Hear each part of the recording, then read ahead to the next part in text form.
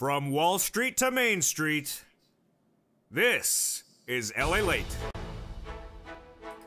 It's a big night of evenings, LA Late, as the push for your reoccurring monthly fourth stimulus checks heats up. We have new clarity about the fifth stimulus package and a major push to reform SSI, SSDI, Social Security, railroad benefits, and veterans benefits with a new benchmark, increased monthly benefits, and more.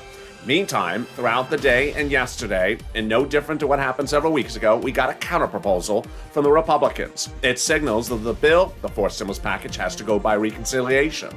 Also, we have insight as to what's coming happening in September with SSI reform, how big money could be coming to you in another form after these monthly stimulus checks. For now, the push is underway to get these monthly stimulus checks going by a reconciliation bill. In this recording, I'm going to go over the fourth stimulus package. I'm going to go over the amount of money at issue. I'm going to go over the path to get these stimulus checks done, the timing, and then I'm going to go over the standalone bills that have been heating up student loan debt forgiveness, the remainder of third stimulus items like business grants. Also, the other items that have been standing alone in the Senate, like the Ron Wyden new plan to pay you $6,000 of big money as PUA expires in just a few weeks and I go over the incredible great news about SSI and SSDI reform and other items being pushed to put in the fifth stimulus package this September. There's a lot of breaking news, and I have a lot of details to go over. It's a big night of Evenings LA, and I'm so excited for you to be here from across the land, whether it's third stimulus, fourth stimulus, or soon fifth stimulus.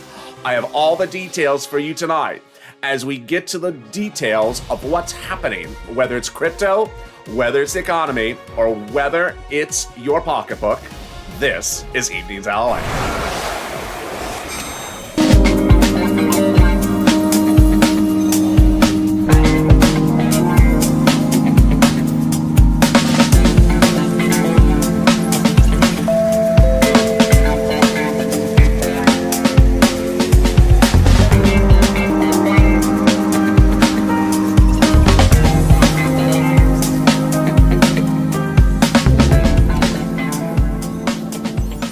Evening, everybody. It's a big night of evenings LA, and I'm so excited you're here as I have big updates for you for those four stimulus checks, those monthly stimulus checks, and what's happening for fifth stimulus. It all impacts everything across the board. How are you? I hope you're having a beautiful night.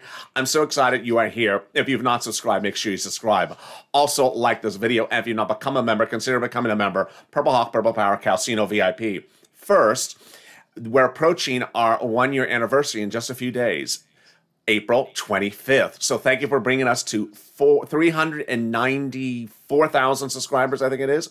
We're just a few thousand away to getting to 400,000. Let's get there. Second, for those that had became members, you saw the Elizabeth Warren uh, letter yesterday.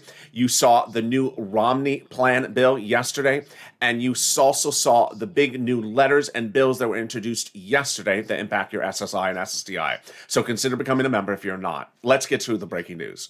The breaking news to start is that the president is really actually where he was no less than three weeks ago. Why? Because the Republicans did come in with what could call a, a formal counteroffer. But if you've been with me for a few weeks, you have seen that their counteroffers, verbally or formally, have been about the same. It hasn't changed. Three weeks ago, I told you that Roy Blunt, who is the uh, senator from Missouri who's set to retire, said that as the number one senator among Republicans for transportation, he would do a bill that has 600 to 800 billion dollars of infrastructure, but wouldn't give any money for climate and would actually reduce the amount of the infrastructure the president's proposing and also not call for any changes to the tax code. The president at the time, three weeks ago, said, I'm not doing that. You have to give me money for climate. So yesterday and the day before, you've seen some of the videos where the president had two people in the room, no joke, three people in the room from the Republicans caucus to negotiate about the stimulus package. Here's what I told you. It was phone negotiations. And I was right because this is a new Politico report released today. During that during those meetings, what did the Republicans do? They basically repeated what they had said over the last 3 weeks. Here was the formal counteroffer, $600, 800 billion dollars total. President wants 2.2 trillion. President not only rejected it, he said, "I'm not even accepting it as a formal offer. Come back with me with another offer." It shows that these faux negotiations are not going anywhere, and that the president, at some point, if he doesn't realize already, that these aren't anything that's going to happen. What's important to understand is that stimulus checks, monthly stimulus checks for you have to go by reconciliation. You want reconciliation the president is not going to get $2 trillion from the Republicans. They've said it for three weeks. Number two, they're not going to get, he's not going to get a penny for climate. They said that for three weeks. And yet again, they said yesterday and again today, they're not even giving him the full amount of money he wants for infrastructure. They're giving him 600 to 800 billion dollars for infrastructure.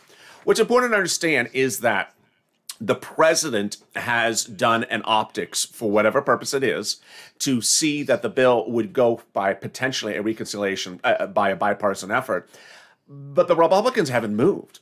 Uh, the latest detail is that during those negotiations, number one GOP leader for environmental public works, Shelley Moore Capito, who actually I detailed, I believe, on Monday and Sunday as well, who's a Republican out of West Virginia, said that she would do 600, 800 billion dollars uh, and that she saw that the plan should really almost be somewhere between 500 to 800 total. The president wants 2.2. The president was so unhappy with that, he reportedly told them um, he's not even going to accept that as a counteroffer to come back with him with another counteroffer. Now, I tell you good news and I tell you bad news.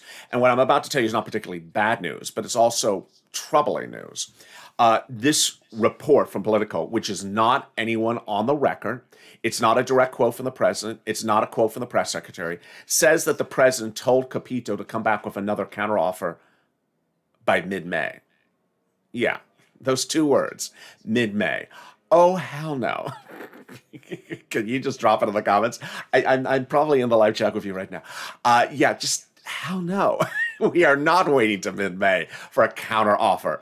They've already said 600, 800 billion dollars for uh, four weeks. What are we going to do? Wait another four weeks to still say, okay, instead of 600, 800 billion, it'll be 825 billion, 811 billion and 22 cents. No, it's time to start reconciliation, Mr. President. The reconciliation process is a two month process at least. And viewers have been asking me, LA, how long does it take this reconciliation? Here's what you need to know. I'm not a legislator. I don't write bills, although I did, write that one last year. Uh, but I have seen how long it took third stimulus with you. And third stimulus, which went by reconciliation, was not a long bill. It was 300 pages long compared to the first stimulus package, which was 3,000 pages long. So why was the second why was the third stimulus package bill so small?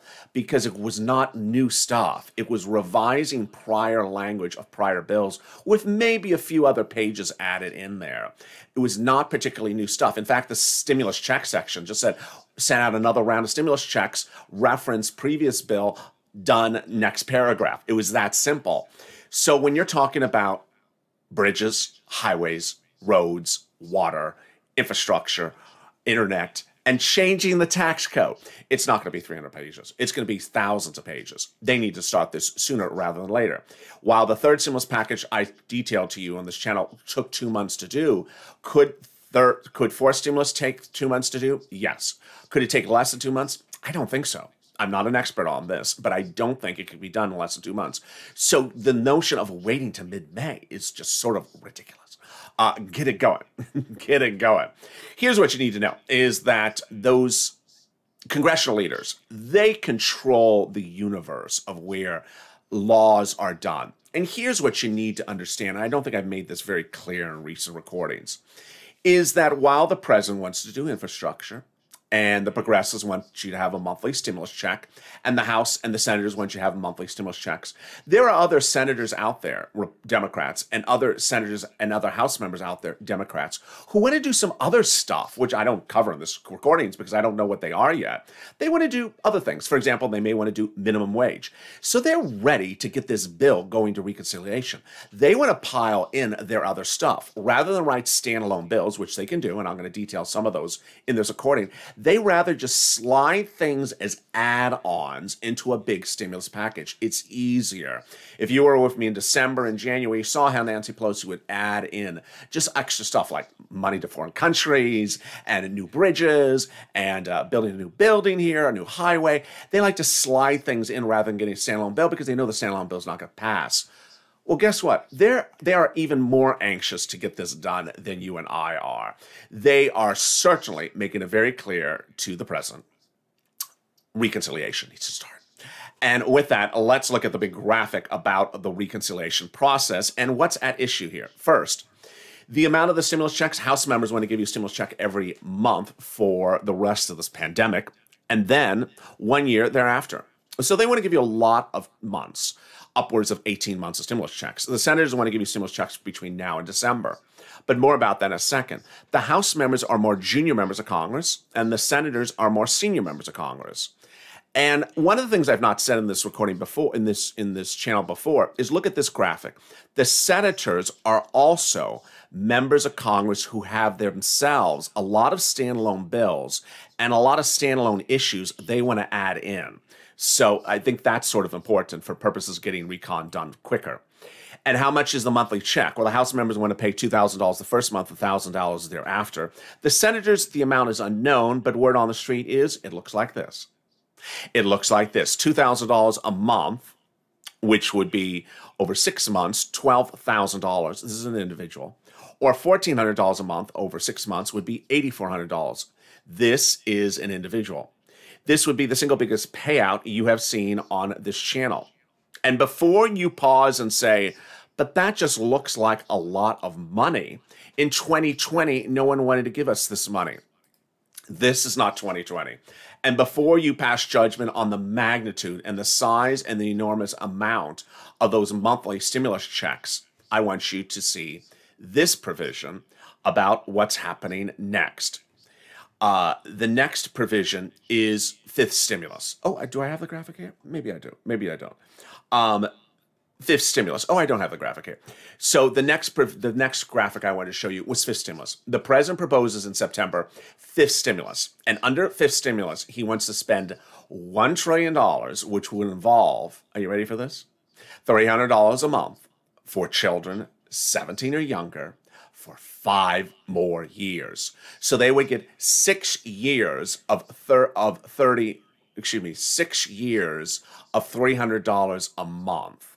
So three hundred dollars a month over twelve months is thirty six hundred dollars times six years. Yeah, that's not twenty thousand. That is a lot of money. He wants to give them a enormous amount of money, forty, fifty thousand dollars. So when we're talking about your monthly stimulus checks, under fourth stimulus, before we even get to fifth stimulus, do not fret and think this looks like a lot of money. It's not in the context of the money that the president himself wants to spend. Now, here's what you need to know is that ultimately this money needs to start and it needs to start soon. There's a couple things in this graphic that are important. First, July. Obviously, every month that this takes, you miss a stimulus check. Number two, viewers have asked me if they sign this into law, or they call this for a vote, when would the check start? Let me make that very clear. Leader Pelosi, Speaker, uh, Speaker, excuse me, Speaker Pelosi, Leader Schumer have said the vote would be by July. In fact, in fact, they say July 4th. That would mean that the first round of checks would go out within about five to 10 days. And that means your first stimulus check would be a July month check. You would there would literally be a July month check. You may get it in the month, in the early part of July, in the middle of the July, in late July, but there would be a July month check. Uh, it's it's how checks come from the federal government. Perhaps your December check comes a little bit late and comes first week of January, but there would be a July month check. Also, viewers have been asking me, how would I physically receive it? In 2020, Warren and Sanders proposed something like this. And I think they would likely go around this route because it's a cheaper alternative. The federal government would likely send you, or potentially, not likely, potentially send you a debit card instead of a paper check, instead of a direct deposit, a debit card that would have the first, that would have um, nothing on it. And then in just two weeks uh, or in a few days, the first month's deposit would appear on it. And then the next month. And so it just replenished with money week after week after week, well, month after month after month. So you wouldn't have to look for a direct deposit. You would they wouldn't have to send out things, mail things. It's just cheap on the federal government and easy on you. Here's what you also need to know is that the president's optics are going to go astray tomorrow and Friday. Why? Because tomorrow and Friday are climate days. The president's going to hold a series of major climate conferences, and those major climate conferences may involve executive orders. And more importantly, what they're going to detail is that he is unwilling to move one penny on climate for Republicans who are unwilling to give one penny for climate under the fourth stimulus package. Away we go right into reconciliation. Remember, the president is not going to put stimulus checks in the fourth stimulus. He's not even going to write the bill.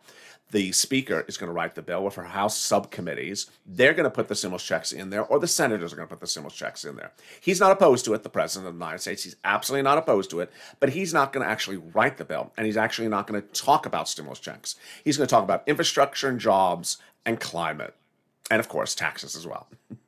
Meantime, a Politico report on Saturday says the president has not even decided what taxes he wants to modify under the tax code to pay for this and how much of this plan would be paid for. What's important to understand that the whole plan will not be paid for 100% by a tax change to the tax code. That's the first thing. The second thing is the president hasn't even decided what taxes he wants to change. This also makes viewers a little bit unsettled because modifying tax code is a hard element. It's not a it's a, it's a hard task. It's not an easy task. Not that it's contentious. It's actually a difficult task. So it's not like, you know, I give $20 million to uh, San Francisco hairstyles. Yeah, it's that's an inch, inch easy line. You just put in one sentence. Modifying the tax code is a little bit harder. And what does that mean? It means it gets started sooner than later. Meantime, coming up late in this recording, I'm going to go over the real big excitement of the SSI, SSDI reform.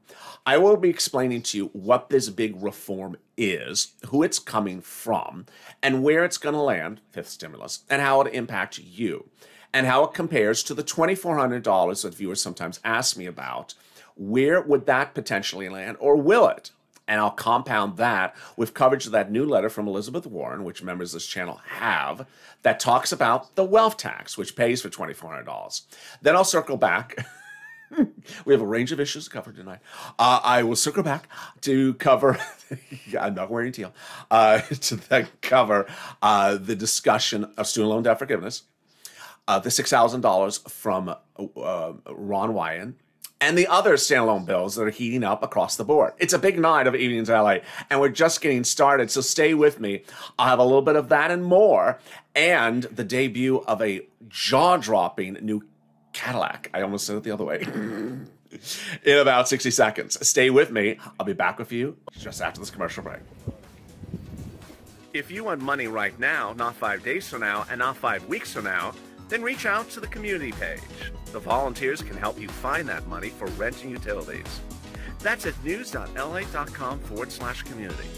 The community page features a series of volunteers who are viewers like you. They can help you find rent, utilities, SNAP, food benefits, mortgage assistance, and help you with eviction moratorium questions as well. Their Facebook, Twitter, and Instagram individuals reach out to them and indicate the city and state you're from, and they'll get back to you shortly. That's a community page. Volunteers working for you, viewers helping one another. Stay with LA for more. Join LA Daily for the excitement of the new LA live daily. The excitement starts on mornings LA at 9 a.m.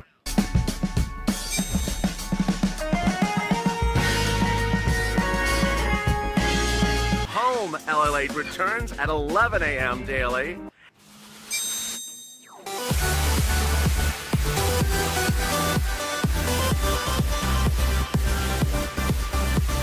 And then afternoons LA Late at 1 p.m.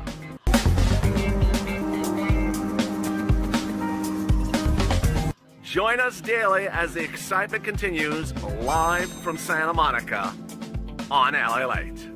And the excitement continues in just a few minutes from now as LA Late Night heats up in about two hours. LA Late Night is our irreverent, non-informational show, which comes out in two hours from now at 8 p.m. at 10 p.m.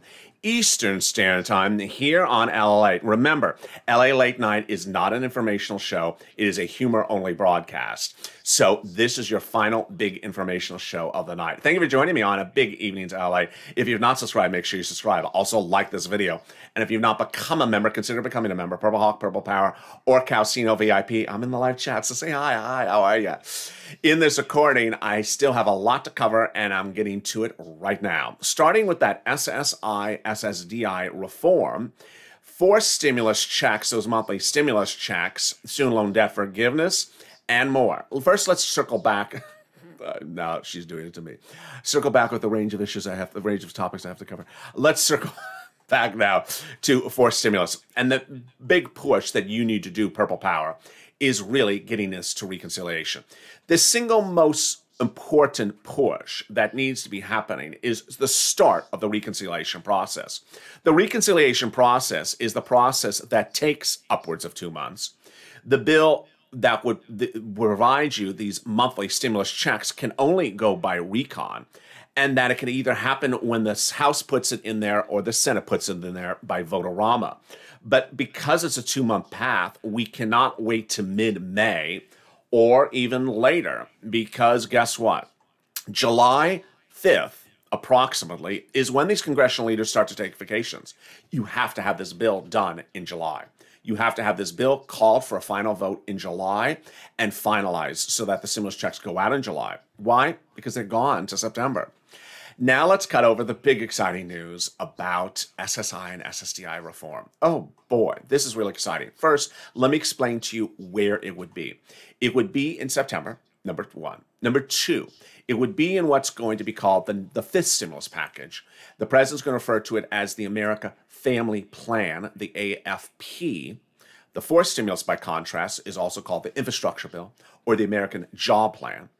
The fifth stimulus would have this incredible add on from the Democrats that would provide for uh, a lot of incredible relief starting with SSI benefit reforms. Let's go over what type of SSI benefit reforms they're proposing. First, they're proposing to increase your benefit levels so you would get more money per month. They're basically saying that your current benefit levels are tagged to where this economy was in 1984 and that the entire universe of your benefits right now need to be lifted up over a hundred percent raise from where you are. Yes, you're listening. You are. You did hear me right.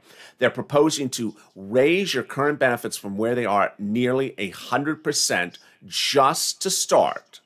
Then they want every December an inflation benchmark, not COLA, to determine how much to increase your benefits every year. Next year, for example, the inflation estimates are 2 to 4% for the US economy. So that would mean you would be raised 100% to start to bring you up to current levels. And then at the end of this year, if we see the 2 to 4% next year, then they would raise your benefits another 2 to 4%. Third, they want, to, they want to increase your asset limits so that you could hold more money in hand and not be disqualified. Then, they want to remove the income exclusion exclusion currently on the books. The income exclusion says you can't work more than a certain amount of money per year. They want to literally wipe it away, and they say they dates back to 1963. And they also want to remove the marriage penalty. Basically, to summarize the mindset and the details, it's an incredible, incredible turnaround of money. First, they want to raise you all up. 100 plus percent. Then at the end of the year, they want to have a new benchmark every year. That benchmark would be tied to inflation. Inflation is always 2 3%. Uh, inflation's never zero. It's always something. It's always two to four. It's not 10% or 20%. Yeah, you're going to be very freaking out if inflation's 20%.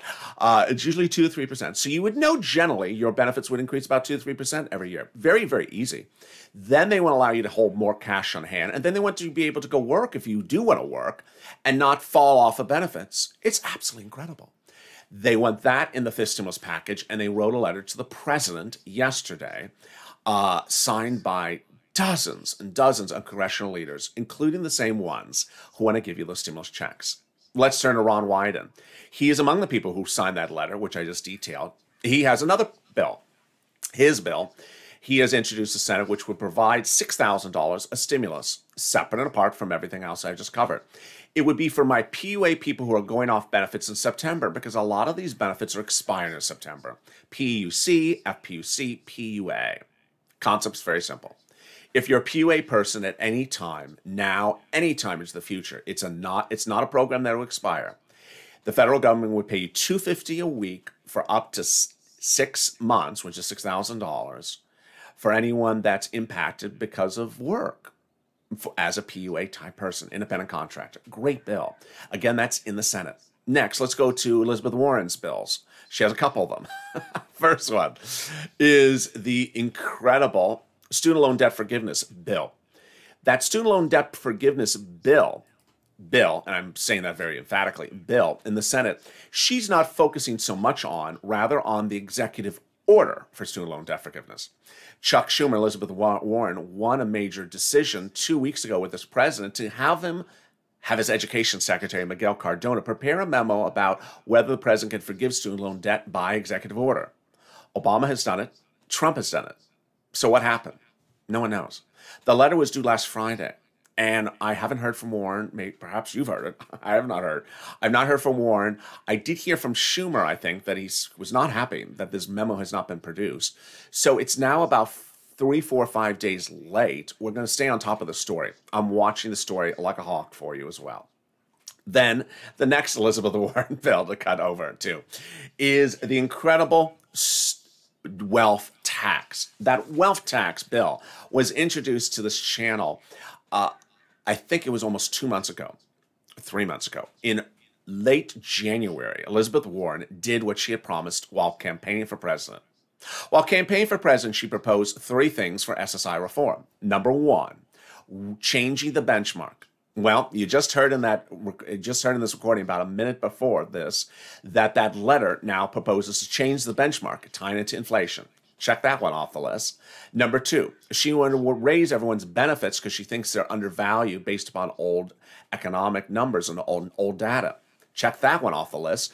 The, that that letter proposes to do the same to raise anyone everyone off of these 1984 numbers and bring them up to the present at 100% increase. So what is left? The $2,400 or $200 a month for the pandemic. Will that still happen? Hard to say. I want you to know that if you're on SSI and SSDI, the biggest push you should have is for multiple stimulus checks because it's eight, nine, ten, twelve thousand dollars. It's not twenty four hundred dollars, and twenty four hundred dollars was when we started in January. It's now April, so it's not you know a thousand dollars. It's eight, nine, ten thousand dollars. You want to get behind MSC and it would not qualify as income. It does not trigger your benefits exclusions or anything like that. It's purely um, a gift from the federal government. It's not tax. But there's great news because Elizabeth Warren wrote a letter to Leon Cooperman two days ago asking him to come to Congress next Tuesday, April 27th, to debate with her the wealth tax. Well, we finally have an answer. He's not coming. He is not coming. No surprise about that. But the letter's incredible because she's pushing still for the wealth tax, which would fund the $2,400 of SSI or fund anything for SSI, which is really important. During the campaign for president, she was asked, How are you going to pay for all this? She said, I'll have a wealth tax bill. And she does. and she introduced it. So if you're trying to keep track of all the standalone bills from Elizabeth Warren, there's the wealth tax bill. There is the student loan debt forgiveness bill. And then there are all the letters that she is a part of. She is a part of the very big SSI reform letter and a lot of other things I've been detailing on this channel. Meantime, what's going on with the business grants? The Shuttered Venue Grant, I don't see it yet live. I'm going to check again uh, tonight. But the Shuttered Venue Grant at SBA has been closed since its operation because they're not getting, they, they're admitting they're having computer problems. The EIDL grant for existing business from 2020 that applied, they are paying those out. So watch for those invites. If you applied in February, there is a vortex. February respondents are stuck in a vortex. But congratulations to my viewers who have got to the main of that $10,000 grant. Third, the restaurant grant's about to go live. And the $5,000 grant that was supposed to go live under the law of the, of the, of the third stimulus has not gone live yet. So a lot of details to look at. Meantime, some other fun news and interesting news. The first one is is this. Wow. What is that? It's a Cadillac, or as Sir Lauren would say, Cadillac. Uh, it's incredible. It's the latest electric debut from GM. This is a Cadillac. And why it's important for you to know about its debut is it was introduced today with these images with an announcement by Cadillac that the car company will be 100% electric by 2030 at least, if not earlier. GM is about three to four years later. They are one of several t- companies that are now saying they're going to be fully electric, whether it's Volvo or everyone else, that are saying they are moving away from gasoline powered vehicles. There may be no more gasoline powered vehicles in the United States in less than 10 years. It signals a major churn of our economy. And it is, is a big issue for purposes of climate and the fourth stimulus because the president's talking about charging stations. If there's no electric, if there's only electric cars in this country, guess what? You absolutely have to have charging stations on all interstates across the country. You have to have it. You can't drive from here to New York in an electric car, at least not now. You give it a few years, they're changing the batteries very quickly. Also, a really surprising update to another story. Uh, if you were with me on Sunday, I was just dumbfounded when this happened. On Sunday, a series of English, Spanish, and Italian teams announced that they were breaking away to form what was going to be called the Super League. Well, in less than 24 hours, between Sunday and Tuesday, it has literally collapsed. All the English teams have now pulled out. Manchester United, Manchester City, Liverpool, Tottenham, Chelsea, and Arsenal have yanked out. And there's reports that the Italian teams may yank as well. The German and French teams never join. What's interesting about today's news, though, is that foreign critics are saying, "Why is Boris Yel- uh, Why is Boris Johnson, uh, the head, you know, the, the PM of England, reacting to the news about soccer teams faster than when he reacted to the news about COVID?" Yeah, it's sometimes politicians react to sports news faster than economic news and health news. Um, he's under criticism for that. Uh, some of the comments were if only the government's response to the pandemic has been as fast as his response to the football crisis, we might have been in a different position, said an advisor to the independent group SAG Group. there we go. If you've not subscribed, make sure you subscribe. Approaching our one year anniversary in just a few days. I'd love you to become part of this family, and we have a lot of great times together. Also, like this video. Let's try to do two, 3,000 likes. And if you've not become a member, consider becoming a member so you get all these incredible PDFs. The new, oh, I didn't even cover it. Um, there is that new Romney plan. I didn't cover it because I don't think the Romney plan is ever going to be called for a vote by um, Leader Schumer. The Romney plan is a counterproposal to SSI reform. It's not particularly good. The reason why I want you to see it is because the co-signers of the of the bill, which is actually a former bill from a previous year reintroduced, are Joe Manchin and Kyrsten Sinema. Yeah, I, am not particularly fond of their co-signing that bill, um, specifically because it cuts your benefits. But uh, if you're a member, you'll get a copy of that bill as well. And with that, join me in two hours from now as our irreverent, humor only, no information at all broadcast kicks up its feet and hooves as LA Late Night returns. Stay informed, stay focused, and stay LA for more.